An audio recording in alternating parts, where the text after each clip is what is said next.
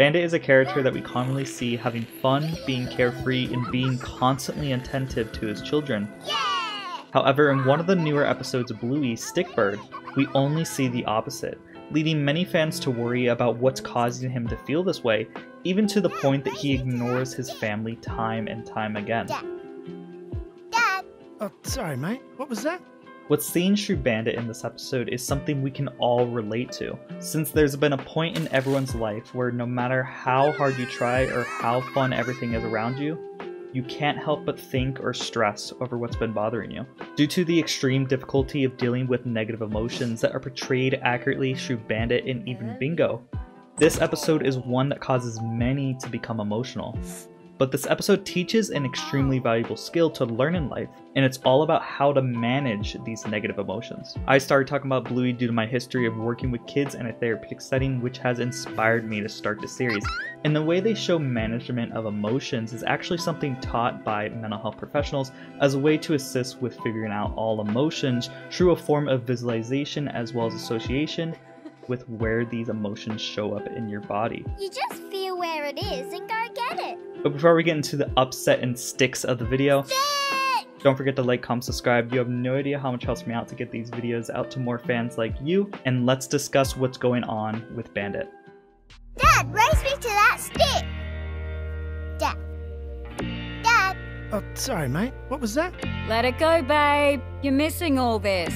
I'm trying. You'll be happy here. You've got lots of other birds around. Come on, Cookie. Stick. Oh, no.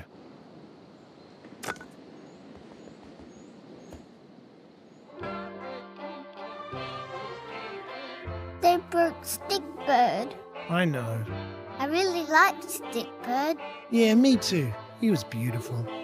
But when you put something beautiful out into the world, it's no longer yours, really. Got all that upset and angry in your hands. What do I do with it? Well, what do you do with something you don't want anymore?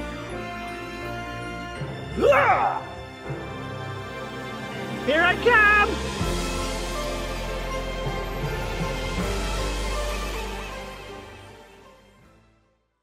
To start, this episode subtly foreshadows the confusing theme within by being the first episode to show the title card before it actually starts. The reason why this is important is that normally Bluey episodes are structured with a prelude, the title card, and then the rest of the episode. Mm-hmm. Okay, family meeting over. which is no doubt intentional because if you keep a close eye on Bandit, you can clearly see something is amiss. Even as they walk into the starting scene, you can see Bandit has a frown on his face and only smiles when he notices Chilli is looking at him. And for the remainder of this episode, as the family around him has fun, we are only going to see Bandit dwell deeper and deeper into his own thoughts. As the episode goes on, it's important to remember that a large majority of the Bluey episodes are created through the creator's own experiences in his life, almost being a self insert through the character Bandit. So, a lot of time when we see the family playing games or just showcasing valuable life lessons,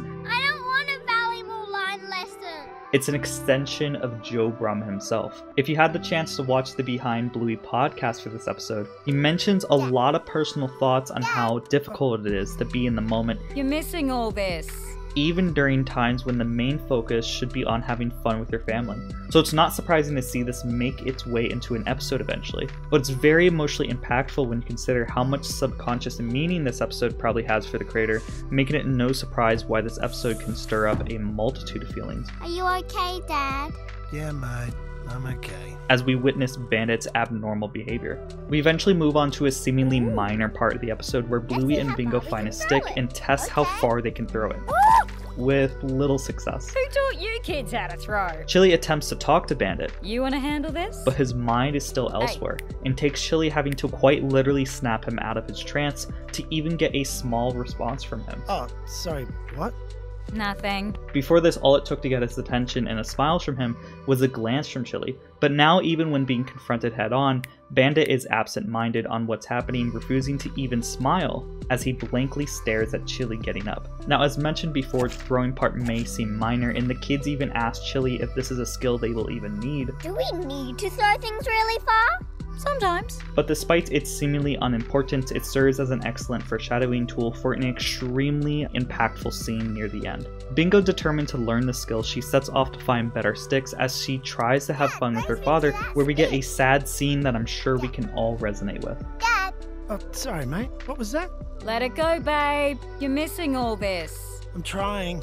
In life, there's many moments we'll all find ourselves not being able to control a thought or a feeling, Mackenzie? and in those moments, it can cause a sense of dissociation from all the fun surrounding you, unable to fully get your mind off of what's stressing you out. And what's really hard about the scene in particular is the way that Bandit says, I'm trying. With a really worried expression. Despite his seemingly lack of attention for everything, he seems fully aware of the negatives his actions are causing through the tone of his voice, which closely matches the actions many people under stress deal with. A lot of the time, when dealing with stress, it's very difficult to be able to stop the mental tension going on within your head, even when you're aware on how it's Oh, affecting the ones around you. Nothing. In times like these, it can cause the individual to almost distance themselves away from others in an effort to find a solution in their mind, usually leading into a spiral of thoughts that don't necessarily help with anything. And we can see Bandit doing exactly this throughout the entire episode via physically distancing, but also mentally distancing by ignoring the ones around him. There are multiple ways to get around this feeling, but as mentioned before, Are you okay? There's a very specific technique that the studio teaches the audience that works very well for certain individuals. I'm sure many of you would love to experience it in its full glory by watching the episode yourself. However, this is an episode that is exclusive to those in Australia Oh. unless you have a way to bypass location based restrictions, which is why I'm happy to say this video was sponsored by Atlas VPN. With Atlas VPN, it's very easy to watch any Bluey episode that you like. All it takes is just press one button to connect to Australian based servers and then go to the streaming website ABC and type in Bluey on the top right. There you can see all the episodes that aren't in your region, and with that you'll be easily able to access Stickbird from there. Atlas VPN is also the best VPN deal in the market. It stops ads and malware. It allows you to keep your Google searches in private and protects an unlimited amount of devices, while also allowing you to save coin while you're online shopping.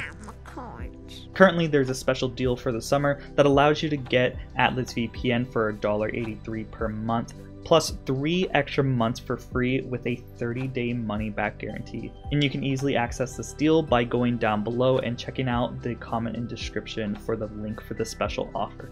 And as we switch back to an understandably confused Bingo asking, What are you trying? Bandit says, Nothing. as he briefly goes back to his normal mode, chasing after Bingo to find the perfect stick, where they find a rather unique looking stick, It looks like a bird's head. prompting Bingo to want to make a stick bird, which is inspired by Joe Brumm's own adventure of making a stick bird with his daughter. Hooray! But as they finish up their creation, we notice Bandit once again distancing himself and not hearing Bingo's initial attempt Dad, as she calls for him. Dad. Eventually, Bandit hears her and turns around and approaches Bingo with almost no emotion, as Bingo suggests that they find another stick for the game. Oh, why? Because we can't throw a stick bird's head. Let's try With Bandit taking initiative this time with a race to the edge of the beach.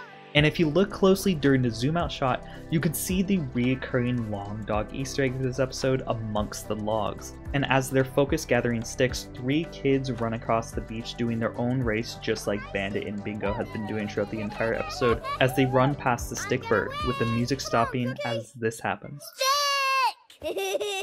Oh no.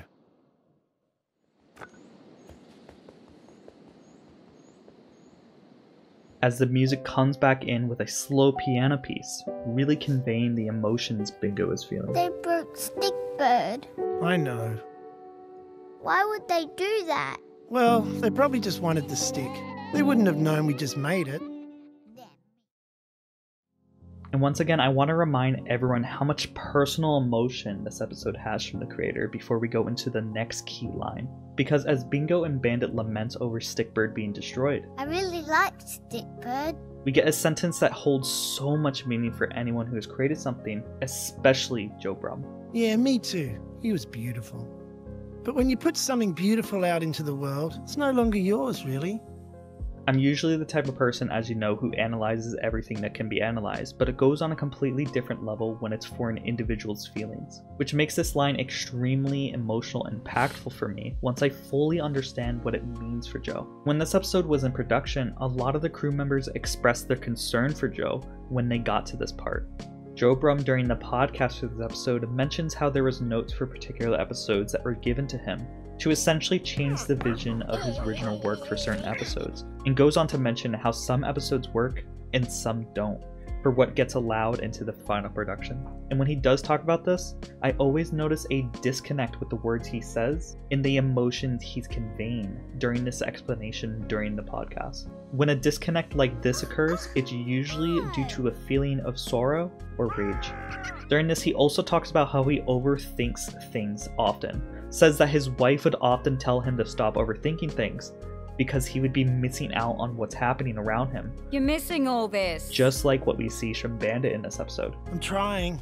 Now that we understand a little on the thought process behind the episode, I think it's fair to try our best to explore on what Bandit might be stressing about during this entire episode. However, I'm going to keep it brief because of a little thing I'll explain in a bit, but the most popular assumptions are Bandit might have gotten news about his father getting ill, which explains why we haven't seen Grandpa Bob in nearly 100 episodes after his first appearance, Good night, Grandpa Bob, wherever you are. which I admit would be a very telling reason for his behavior because if we decide to take it a step further, you could say the three kids racing on the beach are meant to represent Bandit and his siblings during their youth, since they are wearing 80s colored hats, as well as having one parent present on the beach, matching exactly what we see in fairy tales with his family vacation on the beach. There's a lot more I could say on this, but let's move on to the second popular assumption, which is that Bandit being an archaeologist found a new discovery that he didn't want to be disturbed. And once word got out on the discovery,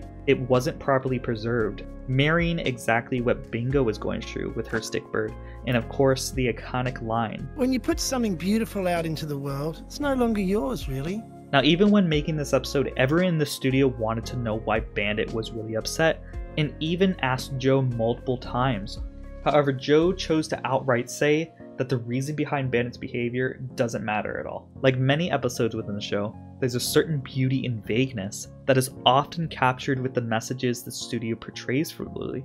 And what that essentially means is that they purposely left it ambiguous to allow just about anyone to connect with Bandit here. Doing so allows us to make up our own interpretation on what's occurring, making it resonate with many in a myriad of different ways because, frankly, What? we as humans are all going to deal with a situation that leads us to a point that no matter how hard we try, just like Bandit, we can't seem to get our mind off of what's bothering us. But what's taught next is the importance of expressing these emotions as well as how to manage them when it seems almost impossible to do so. After Stickbird being destroyed, Bandit continues to gather sticks for Bingo as she mirrors the same behavior Bandit was doing earlier, as we switch over to Bluey finally getting her throw good enough to hit her mark, causing her and Chilli to celebrate. I'm gonna tell Dad. Bandit, still trying to cheer up Bingo, attempts to find a new head to recreate Stickbird, and even says the same exact thing to her Come on, cheer up, Bingo. You're missing all this. that his wife said to him earlier. You're missing all this. With Bluey excited to tell them of her success, she encourages Bingo to race her back so she can show her sister, but this time Bingo refuses to race due to how she feels. I'm upset and angry. Where we finally get to the part that I keep referencing from managing your emotions. I can show you a trick my buddy Mia taught me if you like. Okay, so you have to collect all the upset and all the angry. What's really stellar about the scene is as Bluey is describing this to Bingo, she basically has the same reaction just about anyone has when learning about this. How do I collect upset and angry? Now, I normally don't describe the emotions exactly as this, but to put it bluntly, there's a thing called interoception therapy that is basically what Bluey is describing. Now, this differs on each individual, but some common ones is that nervousness shows up on the belly while anger can show up on the ears. But what's important is to basically listen to what your body is trying to tell you, and that is shown excellently in this next scene. You just feel where it is and go get it. Hmm. There's usually some in your belly or your neck. And always remember to check your ears. Okay. Now, technically, what's happening on screen is visualization. They're visualizing their emotions as something they can pluck from their body. And while interoception can be done in multiple different ways, they did it in a very fun way that hopefully encourages others to try it. But what always gets me laughing is when they have the emotions in their hands and this happens. Now you've got all that upset and angry in your hands. What do I do with it? Well, what do you do with something you don't want anymore? Uh, give it to you? Whoa, I don't want it. Yeah, me neither. then what do I do with it? And once again, the music transforms into this You throw beautiful, melancholy piano piece Oh. as Bluey describes the Ah, final one step, creating need to this equally really beautiful scene. Stand sideways like on a skateboard. Bend your knees. Yep, get comfy. That's good. And with this arm and Whoa! And I will say that this isn't something that technically works for everyone. I don't want to give the false premise that you can be just like Bingo here and throw all your worries into the sea. But those who are interested in possibly trying, it's important for me to say that this is technically a skill. Some may have even learned this during mindfulness, which is a whole nother topic. But like all skills, it's something that takes time to learn, and you'll need to find ways to make it work for you. Some people imagine boxes where they put their emotions in properly labeled boxes, some people just imagine the emotions disappearing, and some people like to imagine them being destroyed with a baseball bat in like a rage room. But just being able to recognize what emotion you're feeling and where they show up on your body can be enough to help you say, hey, I realize I'm feeling stressed out, and then connecting that emotion to an action that is meant to make you feel better. Whether it's just doing something you enjoy, like reading a book, or even through visualization, like we see the family do here, and eventually Bandit, because as the kids race back to mom, Bandit goes back into his trance as he looks off into the distance once again with the same piano that accompanied the earlier scenes, as we get a perfect finale to this amazing episode.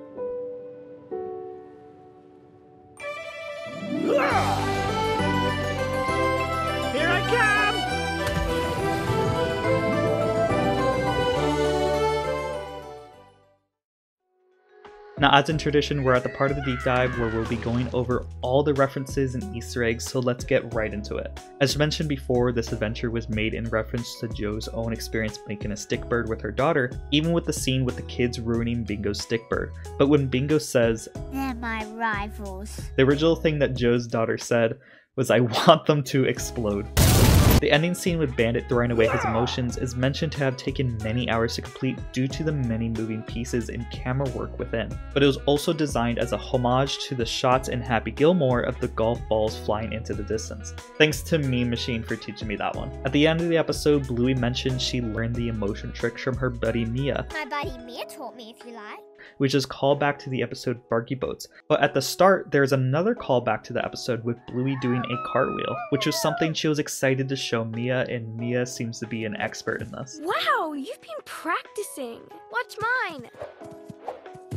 Whoa! There's another long dog in this episode besides the one among the sticks, which is actually seen in the first scene in this little pool, disguised as a hermit crab. Now, this next part technically isn't an Easter egg, but after throwing the sticks with Chilli, I love how much Bluey winds up her grab for the stick. It's such a cute, subtle piece of animation in the episode. The beach location is based off of I might mispronounce this, Currimundi, which is a beach or an inlet on the sunny coast, and the design team made the sand more yellow to make it look more distinct compared to the other beach episode, as well as the ocean being a different color. I can't find an image for the concept art for this, so you're gonna have to use your imagination, but the original stick bird design in this episode was a lot more spiky and scary, and they changed it for obvious reasons. Oh boy. The animation team had a conversation on if the fish at the end should smile or look sad, on what they wanted to convey with the fish. Jokingly, they decided that the fish is just confused, perhaps as a subtle nod to how confused the studio was trying to figure out why Bandit was upset. And finally, in the end credits, it credits the classical German composer Bach because the background music is heavily inspired by his song, Jesus Joy of Man's Desirable. That's all the Easter eggs I could find. However, if there's an Easter eggs you buddies found that I missed, please tell me in the comments down below. Overall, I adore the studio choosing to tackle this idea within the show because it's not something that is commonly addressed in society. A lot of times we're told not to feel negative emotions at all, so encouraging the audience to not only feel those emotions by identifying where they show up on your body, but also a technique to manage them is something I really enjoyed seeing, as well as the overall idea of how important it is to live in the moment because of how easy it is to start overthinking things like work, health, or anything really. Come on, cheer up, Bingo. You're missing all this. And demonstrating how quick you can switch back to this overthinking state when you aren't being interacted with. I understand a fair bit of the community thinks that this episode falls a bit flat, so I'm interested to hear what you buddies think about the episode, especially if anybody's opinions have changed after hearing how personal this episode is for Joe. And please join me next time as we analyze everything Bluey. I'm currently juggling a few video ideas with my Calypso Best Teacher in Media, as well as the musical Mastery of Bluey and countless deep dives for individual episodes. So make sure to hit subscribe so you don't miss or air any new video that I make. At this point, I'm going to be showing the amazing fan art sent to me by the many talented artists within the community with their Twitter handles on the bottom left so you can check out the rest of their awesome work. And the first one is from Sammo. Now, I feel like this needs a bit of a backstory to like fully describe, but to briefly describe it is that there was a quote unquote Bluey Hunger Games, which was like a automatically RNG based thing where a bunch of people in the community just put in their names and then they were like randomly assigned us to districts. And this shows a bunch of Bluey OCs, including mine. And if you look closely, I'm actually holding a rock. I'm gonna show another fan art by them with me throwing a rock at their head. And that's because in the Hunger Game, I'm pretty sure at one day I threw a rock at their head. I think they escaped, I don't remember fully. There was like a ton of fan art for the Hunger Game stuff, including this other one from Jazzy, which both of these artists draw incredible things. The original piece I'm showing here I really love because whenever there's a bunch of bluey peeps that I know in a drawing with me, it feels very special because it feels like we're just all hanging out and that means a lot to me. This next one is by the ever talented Pepper. Now, once again, another explanation. It was just drawing a bunch of different Peeps OCs with him just smooching them, which is very, very cute. I love that a lot. But if we move on to the next piece, we have Kimmy with me just standing there looking all cool with a peace sign with some awesome little stars in the background. I always enjoy their art style, so it meant a lot for them to suddenly spring this on me. And I feel like I say this a lot, but I'm being honest, I, I really do enjoy how some people draw their lines, and I really like how curvy the head tuff as well as the ears look in this. This one is by Adam Likes Bears. Now this one has a whole story on the right that you can pause and read, but basically it's this awesome illustration with amazing colors. I just love the uh, the dreamlike colors on the side with Jack and Rusty floating in space and my character also floating in space here. It's just so, so cool. It, I'm not even sure how to fully describe it, but I love how the glasses are floating in space off in the distance there. And anything with Jack and Rusty really gets me giddy. so this was really, really special for me. This next one is by Meme Machine. Now I really love this because they mentioned that they only started drawing just about two days ago, so it means a lot that they wanted to draw something special for me and essentially practice their skills by drawing my characters, so that was very special for me. And finally, this one is from Vib. Now, Vib just drew me floating in space. I really like their art style because it essentially mimics the escape art style that we see in the show, and I really, really love space. And I just love the little expression they show on my face. It looks like I'm having a ton of fun just going yay, but I just want to say thank you for each artist for sending me their incredible work. It always makes my day when I get one of these, and if you'd like to also share your art with me, please send me your art via a DM on Twitter, or I suppose it's called X now, over on my Twitter over here. And thank you for everyone who's watching and supporting me on the daily to keep working on this passion project of mine. I feel truly blessed to even be granted this opportunity, so thank you from the bottom of my heart, as well as the members who support me as little as $5 bucks a month, which are Clairvoyance, Rick Iglesias, Mr. Kitty, and Zach. And if you'd also like to support me, consider clicking the link in the comments or description or on the top right to become a member. The more members I have, the closer I get to becoming full time. And don't forget to use the link down below for the special summertime deal for Atlas VPN so you can watch all those new Bluey episodes, including this one. And as always, don't forget to like, comment, subscribe, and I hope y'all have a great day. bye bye. And the last shall be first to immerse in a pass out heat. Facing him up with a moxie melt till he woke up drowning in tchotchke hell. More in a cave with a torch on the wall than a window arrangement of porcelain dolls.